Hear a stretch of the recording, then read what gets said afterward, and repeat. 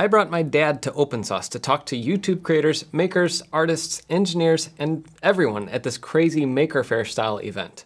We both got to see and talk to hundreds of fellow enthusiasts about everything from cavity filters to coordinated LED art installations. But what were the coolest things we saw? I'll kick things off with the Dalek Fax, hmm. which, uh, if you haven't noticed, in my studio for all my videos for years now, I've had this Dalek back here. The cool thing about this was there was another father-son duo. The hmm. dad was in charge of the mechanicals, and the son was doing the electric. That's cool. And it was just cool to see, you know, father son working together. I'm kind of biased towards that being a pretty cool thing because it's it's great to work with your dad if, if your mm-hmm. dad has a shared interest.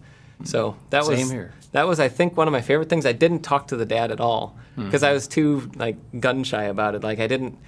I don't know. I, I thought it was too cool of a thing to upset it because he had a little voice thing. Oh on yeah, he was, bu- and he was busy too. Yeah. Were, everybody that came up, he was wheeling that thing and wheeling that uh, deal in front and Yep. Don't get shot by the death ray. explaining it's not a toilet plunger. I heard him do that a couple times. Well, I, I like that crazy stuff. The Dal- Dalek was one of them for sure, and uh, that, but there was also a trash can. Ran around chasing after people, was open up and breathing out smoke. Looked like it was on fire half the time. And there was a chicken that ran around with a. Uh, uh, A Roomba. Roomba with a Yep. duster thing on it. They, they, they, were, were having fighting a thing. each other. It was it was crazy. And then there was the hot dog race, which was a personal favorite of mine since the attachment to hot dogs. A lot of people at the event were like, "Oh, you're the hot dog guys!" after the uh, hot dog on the tower. Five, four, three, two, one.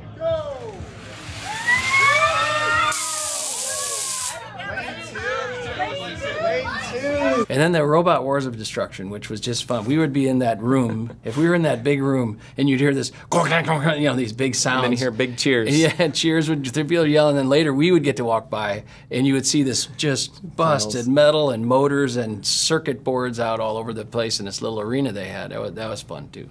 Another thing that I liked on the floor that I, I had I had heard about it before, and I even had it in my list of like, here's something I want to talk about someday in a video, was ADSB, and not just ADSB, but ADSBee, like a buzzing bee.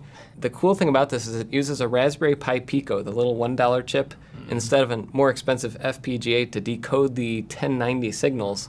And in addition to that, he even has a dual band version that can use both PIOs on the Raspberry Pi, that little chip, and it can decode data on the 978 megahertz band, which is cool. So you can see all the airplanes in the sky, Yeah. e- no matter where on Earth you are. And uh, one little fun fact is, we were there and we were like, "What does ADSB even stand for?" Like, it's one of those acronyms that nobody knows. it's the Automatic Dependent Surveillance Broadcast. And I love seeing the young creators out there. There's a lot of very youthful uh, humans out there that are doing some great stuff. Uh, the ADSB guy was a young guy, and he was doing some cool stuff. And the uh, rocket area was full of tons of young people that had done rocket things. We we learned how to mix rocket fuel to make solid rocket fuel, sort of. Well, not every detail. Uh, but we did love the rocket area. One guy had the the landing gear came out. He was trying to figure out. The other guy had a nozzle controller, 3D printed one. It's like oh, Showing no, how a PID loop works. Yep, exactly. And so it, it's just fun. And then meeting the Rubik's Cube solvers that have the world record right now of the fastest uh, machine to solve a Rubik's Cube. It was like 0.103 seconds.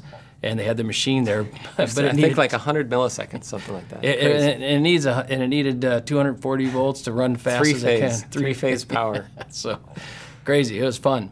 And then the uh, there was the guy, young guy there, and I don't know if he made the whole thing because I never got to stop at the booth, but he uh, printed all kinds of brass instruments, tubas and, and trumpets. and Plastic, things. but coated in a way Yeah. that they sound like brass instruments. Yeah. It's very cool stuff. very cool. you know, as somebody who had his father teach him how to solder, one of the others, and it's solder for all you British people out there. you know. no, but that, that's what we say. Anyway, it, for having that in my life, I, it was great to see all the repair stations around the mm-hmm. floor. I think I, I spotted at least three, and I think one, one guy was also doing mobile repairs, which is cool because you can help keep the exhibits alive. Many of these exhibits are moving and stuff, and they break.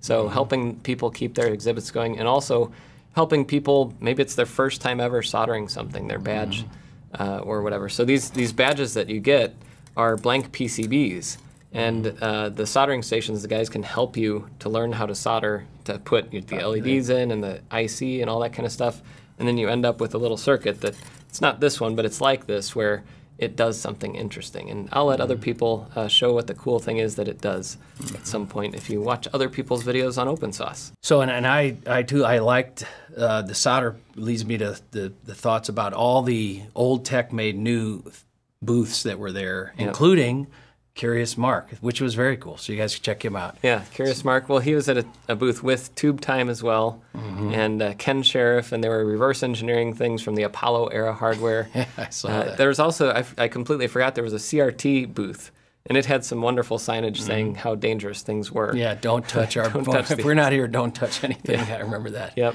So that was, and then the Mac remade, like they had uh, d- people repurposing all, all kinds of things with the Mac that drove around. There were Macs that had different screens in them and all that kind of stuff. But it, it, it was just fun. I love that, seeing that, how people can creatively put to use uh, old tech in a new way or refurbish the old tech, which like CuriousMarc and his group of guys, or two or three guys, are, they were amazing. They make it better than new in a lot of yeah, cases. They put in better spec equipment inside. And uh, in, you know, from a radio perspective too, there there were a few different things talking about RF, but one of my favorites from last year and this year is the Meshtastic booth, and seeing Mm-hmm. the growth of that, uh, the use of that protocol, both from like amateur radio operators and from just the general public, since it's Mm-hmm. unlicensed spectrum.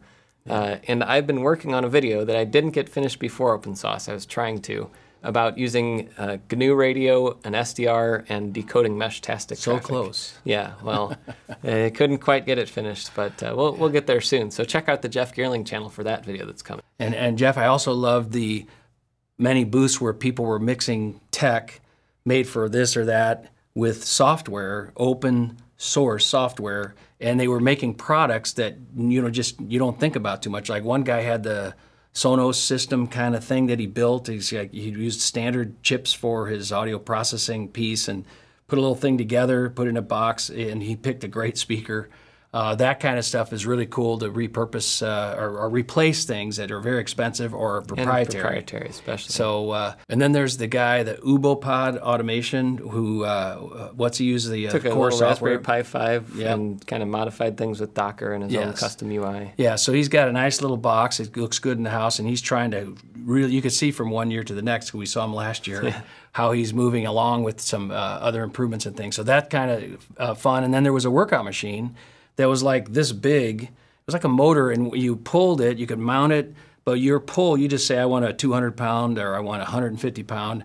So you could see making workout machines and, and just taking the electronics, the motor controls, and things that people have learned, and the software that's out there, and making it work with a totally new purpose. I, I love that, and there was a plenty of that up there. And since uh, my son enjoys chess, Mm-hmm. all the little chess exhibits really caught my eye. But one in particular was from a student. I think he said he graduated high school and just in his spare time he Yeah. wanted to make a chessboard that either plays itself or plays against a human. Yeah. And uh, he built it, and he had you know, talking through all the process. He he mentioned like we did this and that didn't work, so we modified.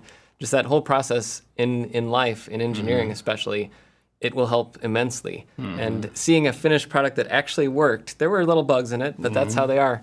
It actually worked, and uh, it's cool to see that, especially since I saw them on Sunday, which means it worked all through Saturday as well. Yeah, and, and those kids learn failure, failure, failure, failure, and they find improvements. It's just a very cool process to watch. It's great to hear them talk about it. They're always excited. Yeah, I mean, I'm excited because the next generation of makers and tinkerers, Mm-hmm.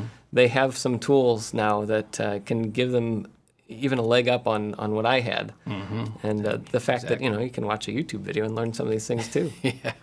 I, I don't know of anyone who wouldn't have loved talking to the YouTube creators that were there.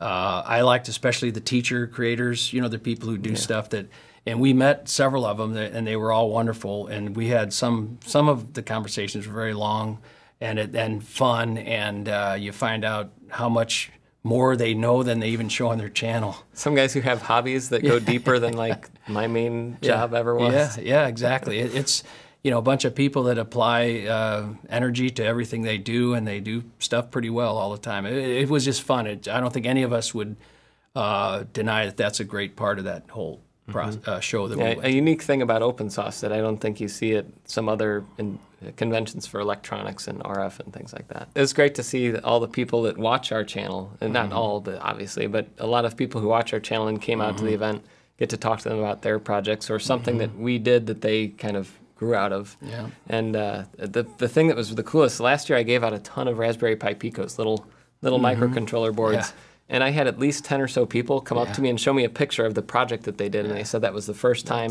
that they ever used a Pico. That's pretty And cool. It's like now, now I'm like, maybe I should have tried harder to get something this year.